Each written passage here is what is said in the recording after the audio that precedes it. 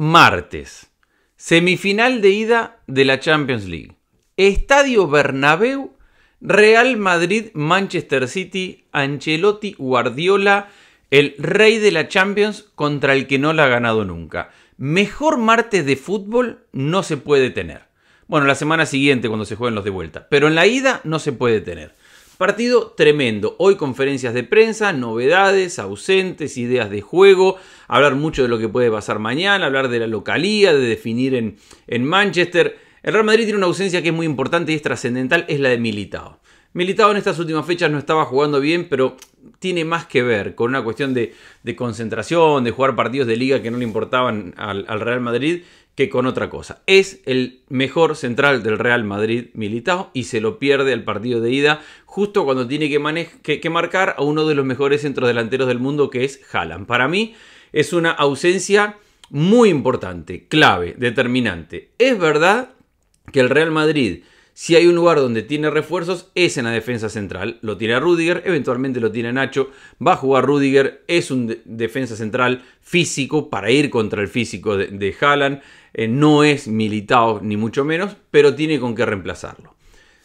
Courtois, clave importante, decisivo, siempre tiene que aparecer Courtois. Hoy le preguntaron a Guardiola por la mentalidad, por la fortaleza, por la parte psíquica, por la parte anímica. Guardiola dijo, sacaron una pelota sobre la línea, Courtois tapó una pelota con los tapones y después los terminaron eliminando. Como que no, no pasa tanto por lo anímico, por la cabeza, sino pasa por ejecutar. Y Courtois es un jugador que ejecuta siempre y que te mantiene en el partido en situaciones difíciles. Carvajal, Rudiger, Alaba, Camavinga. No está Mendy. Camavinga seguirá siendo lateral izquierdo en lugar de Nacho, que podría ser otra alternativa, podría ser Nacho de central y, la lava de lateral, eso no lo va a hacer Ancelotti a esta altura, Camavinga va a ser el lateral izquierdo. Mitad de cancha dijo Ancelotti que va a jugar Modric, titular, y dos volantes más. Uno de ellos fue a la conferencia de prensa, que es Cross, seguramente va a jugar, porque aparte Ancelotti siempre termina jugando con los de siempre, con los veteranos, con los que han ganado mil batallas, los partidos importantes. Para eso está Cross, para eso está Modric, por eso siempre juegan este tipo de partidos. Después en otro partido se lo puede rotar, descansar, lo, que quieran. Pero en estos partidos Modric y Cross juegan. Creo que en la mitad de la cancha hay un lugar que es ganado, que es el de Fede Valverde. Y a partir de ahí, dos puestos ya asegurados, Vinicius y Benzema, y un tercero que ya tiene una carrera prácticamente ganada que es Rodrigo. Rodrigo se ha ganado ese lugar por encima de otra alternativa que podría ser poner a Chuamení de volante central y Valverde de extremo, falso extremo, que es lo que hizo en algún momento, o inventar alguna otra cosa. Se ha ganado Rodrigo ya, me parece, ese titular. Ese creo que va a ser el 11 del Real Madrid para mañana. Enfrente tiene un Manchester City que para mí tiene un par de dudas que son importantes. Una principalmente es no viaja a qué. A qué no es militado pero sí es muy importante para el esquema de Guardiola. Guardiola viene jugando con una línea de tres centrales que a veces se transforma en cuatro. Esto lo hemos hablado ya varias veces, tres centrales, dos volantes de contención, esto cuando tiene la pelota y cuando saca la pelota desde el fondo y cuando va hacia campo rival. Los dos volantes de contención son Stones y Rodrigo. Cuando el equipo pierde la pelota y le toca retroceder y defender, Stones antes y, en algún momento Rico Luis, que fue el primero que empezó haciendo esto. Incluso hubo un momento donde Bernardo Silva jugó de lateral izquierdo haciendo este movimiento. Iba de segundo volante de contención. Cuando el equipo perdía la pelota y había que retroceder, Bernardo retrocedía al, lateral izquierdo. Stones retrocedía al lateral derecho. El cambio que hizo Guardiola en los últimos partidos es que Stones retroceda a defensa central. Y a partir de eso poner a Kanji como un lateral por derecha en esa fase de juego que es defensivo. Después de mitad de cancha para adelante, Rodri es el volante central, De Bruyne está recuperado, Gundogan es titular, Grealish se ha ganado el puesto de, extremo por banda izquierda, se lo tiene ganado. Todo lo que, todas las críticas que recibió de forma lógica y justificada el año pasado, las ha tapado con muy buenas actuaciones este año. Haaland es titular sí o sí. Y yo creo que hoy por la banda derecha Bernardo le gana el puesto a Mares para este tipo de partido. Hasta ahí lo que sabemos de las alineaciones. ¿Qué tipo de partido y qué cosas podemos ver? Habló mucho Guardiola porque le preguntaron de Vinicius. Ah, y, otra cosa que quería decir de, este esquema de Guardiola. Creo que mañana no va a usar este esquema.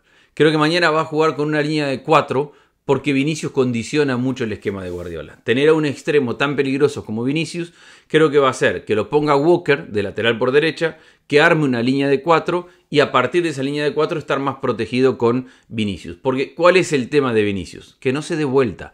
Si vos a Vinicius no le tenés un lateral derecho que le esté encima en la marca, le das la alternativa de que reciba, de que se dé vuelta y de que encare en velocidad. Y ahí te mata. Ahí es un gambeteador por excelencia, ahí te gana la línea de fondo, te saca el centro atrás, te saca el remate, te enrosca, te vuelve loco. Entonces el City no le tiene que permitir eso. Para mí la mejor forma de no permitirlo es Walker, que además es el defensor más rápido que tiene el Manchester City y como consecuencia de esto es el que puede correr a la pelota al espacio que le va a tirar el Real Madrid seguramente a Vinicius. Entonces me parece que este esquema de tres en el fondo, dos volantes y lo demás no lo va a usar y creo que va a ir una línea de cuatro con tres en el medio y con tres delanteros y habrá que ver cómo termina armando, pero además sin a qué creo que queda bastante, bastante más claro.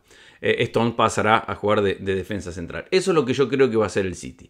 ¿Qué tipo de partido me imagino? Creo que el City va a tener la pelota indefectiblemente. No, no me imagino al Real Madrid capaz de quitarle la pelota al City y de atacarlo. El Madrid no le importa eso. Esa es la realidad. No, no juega a competir por la posesión ni se cree el juego de que porque estoy en casa tengo que atacar desde el primer minuto y tengo que ser superior.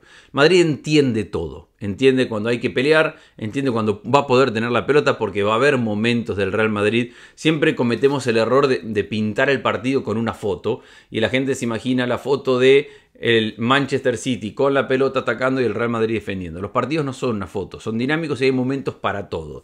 El Real Madrid entiende mejor que nadie esos momentos. Entiende cuando le toca defender que no hay que apurarse por dejar de defender. En ese momento hay que sufrir y hay que defender y lo hace muy bien. Y entiende que el partido le da momentos para transiciones, para contragolpes y también para llevar la pelota a campo rival. Esa es una ventaja que tiene el Real Madrid con el Manchester City. El volumen de juego, la idea, todo eso es inmensamente superior al Manchester City. En capacidad de juego es superior el Manchester City. ¿En qué es mejor el Real Madrid? Uno, en entender los momentos del partido, entender lo que decía recién, que nos toca defender hay que defender, y si hay que revolearla hay que revolearla, y si hay que aguantar hay que aguantar, y si hay que festejar una, una salvada sobre la línea en el área chica, se festeja. El Madrid lo puede hacer tranquilamente y después le va a venir el momento para atacar.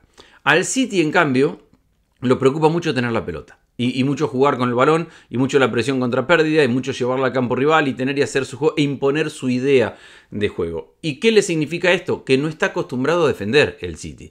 El City está acostumbrado a recuperar rápido, a, a defender allá arriba, presionando, pero cuando alguien le quita la pelota y lo obliga a retroceder y a pararse en la puerta del área grande o adentro del área grande, ahí el City tiene dudas. ¿Por qué? Porque no está acostumbrado a hacerlo porque casi nadie o nadie lo lleva a ese juego donde le quitan la pelota al City y lo ponen a defender por espacios muy largos del partido. Le pasó con el Arsenal, le pasó en algún otro juego, pero no mucho más. Creo que con el, con el RB Leipzig no mucho más. Ha dicho hoy Guardiola incluso cuando le preguntaron por Haaland que hay una ventaja que le da Haaland y ahí se nota el avance, los cambios, la adaptación de Guardiola, el crecimiento de Guardiola como técnico. Dice, bueno, si el Real Madrid nos viene a presionar como hizo contra el Barcelona en algún momento, tener a Haaland te permite saltar líneas. Esto es algo no nuevo de, de Guardiola, pero sí el hecho de pensar que puedes saltar líneas ir por arriba, un jugador que te recibe de espalda y que no necesariamente tenés que ir por abajo con el toque, con la posesión, con el llevar todas las líneas al mismo tiempo, eso que ha hecho por, por, por tantos, tantos y tantos años y tantos partidos.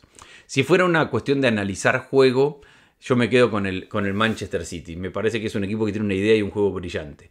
No tiene la personalidad del Real Madrid, no la va a tener, no, no, no tiene ese convencimiento, no tiene jugadores con cinco Champions saliendo a jugar semifinales. Tiene un equipo que juega una idea muy clara, muy buena, pero que siempre le ha faltado algo para la Champions. Y eso para mí acá le puede costar en algún momento porque el 90% de los jugadores del año pasado están este año.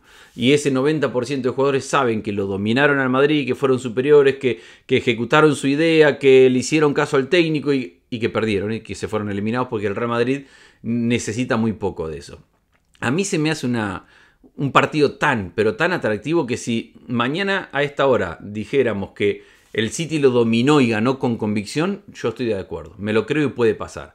Si volvemos al partido de siempre, donde el Real Madrid reaccionó y de una forma increíble, casual, individual, Vinicius, Benzema, lo que sea, ganó el partido, tampoco me sorprendería. No me imagino un Real Madrid dominante en posesión para ganar el Manchester City. En líneas generales del partido, repito, va a tener momentos de posesión, pero no, no me imagino ese partido donde el Real Madrid tenga la pelota por mucho tiempo, lo domine, lo someta y a partir de ahí le, le gane el juego. Mañana voy a estar por acá para hablar del Milan Inter. Mañana recuerden, como cada día de Champions, ya nos quedan pocos, nos quedan cinco, una hora antes del partido, para no equivocarnos cada uno con su horario, una hora, a veces unos minutos antes, una hora antes del partido, en vivo por la canaleta de YouTube. Ahí vamos a estar para ya tener las alineaciones confirmadas, empezar a meternos en el juego, eh, responder todas las preguntas, imaginarnos qué tipo de partido vamos a, tener, eh, las más reacciones de las conferencias de prensa y de, lo que han dicho hoy. Así que los invito a todos y ayúdenme a eh, generar de esta invitación una todavía más grande para mañana, una hora antes del partido, en la canaleta de YouTube empezamos en vivo a meternos a esa semifinal que será tremenda, tremenda e impresionante. Le mando un saludo muy grande. Qué lindo martes que vamos a tener.